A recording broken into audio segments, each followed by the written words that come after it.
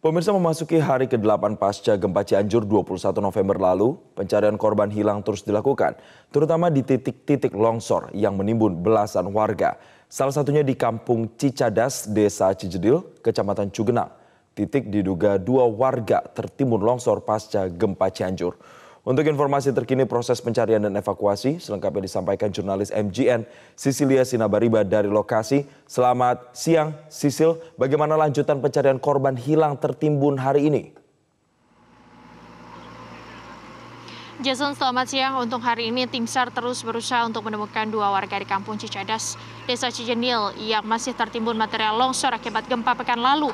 Dua alat berat telah diturunkan sejak hari kemarin. Ini memasuki pencarian di hari kelima dan ini merupakan hari kedua pencarian dengan menggunakan alat berat.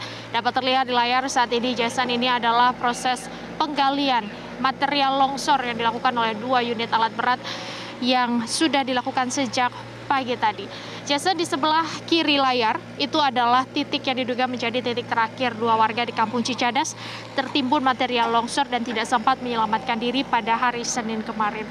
Sebenarnya dua eh, eskavator ini sudah melakukan penggalian sampai ke titik dasar atau titik uh, dari permukaan wilayah ini sebelum terjadinya longsoran. Namun hingga siang ini saat kami melaporkan dua warga di Kampung Cicadas masih belum dapat ditemukan dan masih terus berusaha untuk ditemukan oleh tim SAR gabungan.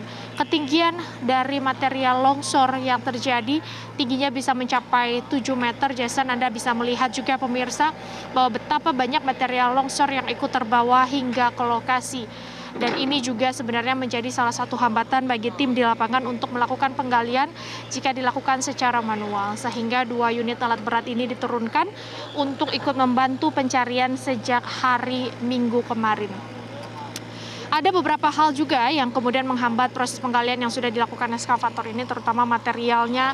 Dari material longsor ini yang sudah uh, lumpur, licin, dan ini juga menghambat dari eskavator.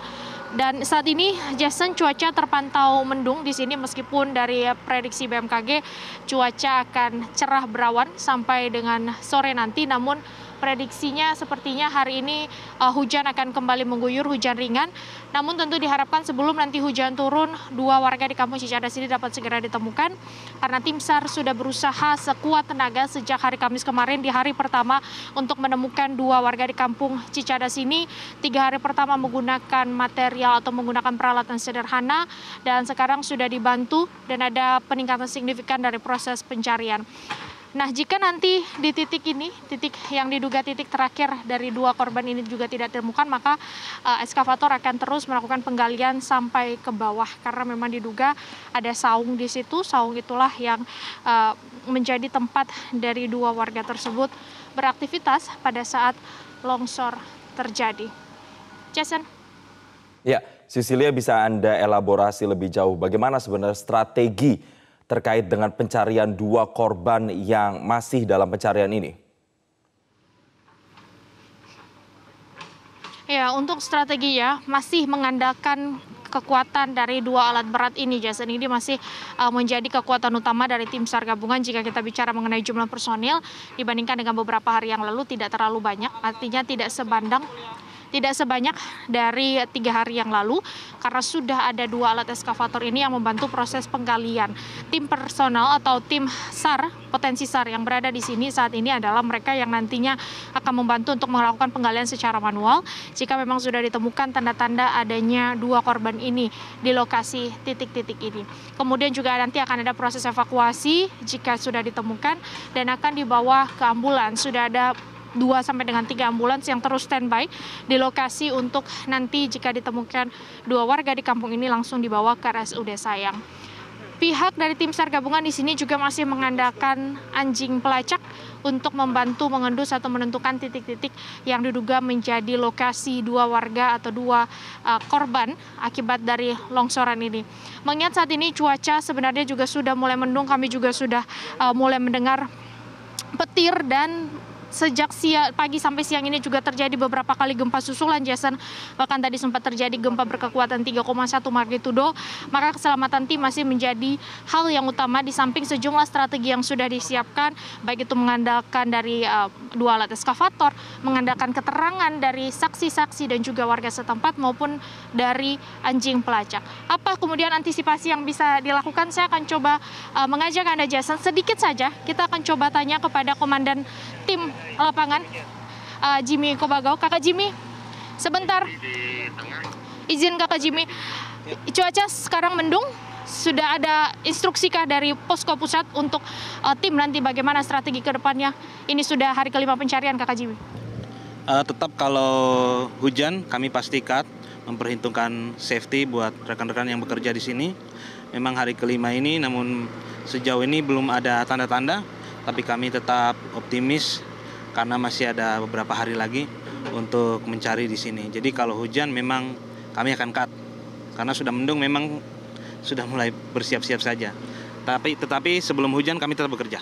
Skemanya nanti seperti apa kak? Kalau misalnya di sini ternyata masih belum ditemukan, akan ke mana nanti eskavator ini bergerak? Kami fokus di sini kurang lebih 5 meter ya dari sisi sini, side sini sampai sini. Kalau di sini sudah tidak ada lagi, karena kebetulan di sini uh, hasil komunikasi dengan keluarga korban di sini adalah saung dari almarhum itu yang tertimbun. Kami mau memastikan aja make sure kalau di sini sudah tidak ada bangunan lagi. Kalau seandainya di sini tidak ada, kami akan tetap fokus selama sejauh 5 meter radiusnya kami akan gali terus sampai ke bawah. Sampai uh, waktu kerja kita berhenti sampai jam 5 sesuai jadwal ataupun mungkin hujan. Baik, terima kasih banyak Kak Jimmy. Oh, satu lagi Kak Jimmy. Ya. Saya melihat personel di sini juga tidak terlalu banyak jika dibandingkan dengan beberapa hari kemarin, apalagi ketika kita melakukan uh, pencarian secara manual. Ini bagian dari strategi karena sudah ada dua alat berat atau seperti apa Kak? Benar sekali, kami menghemat uh, tenaga dari teman-teman relawan karena kita sudah tidak membutuhkan manual lagi, tidak terlalu banyak membutuhkan tenaga manual. Kita fokus semuanya hari ini dan seterusnya menggunakan alat berat. Jadi memang kita mengistirahatkan beberapa teman-teman relawan yang sudah bekerja kurang lebih tujuh hari di Cianjur. Terima kasih banyak Kak Jimmy. Terima kasih juga atas kerja kerasnya dan juga tim semuanya. Betul yang tadi disampaikan oleh Jimmy Kobagau, Komandan Tim Lapangan di Kampung Cicadas ini bahwa untuk proses pencarian Jason dan pemirsa diperpanjang sampai tiga hari ke depan, sampai 30 November 2022. Artinya tim memang masih mempunyai cukup banyak waktu untuk terus melakukan penggalian dan juga penemuan dua warga di Kampung Cicadas ini. Dan jika memang sampai saat itu belum ditemukan juga, maka akan dilakukan evaluasi lebih lanjut apakah akan dilakukan perpanjangan atau tidak dan bagaimana nanti komunikasi dengan pihak keluarga. Jason. Terima kasih Cecilia Sinabariba atas laporan langsung Anda dari Kampung Cicadas Desa Cijedil dan selamat bertugas kembali semoga upaya yang dilakukan bisa membuahkan hasil.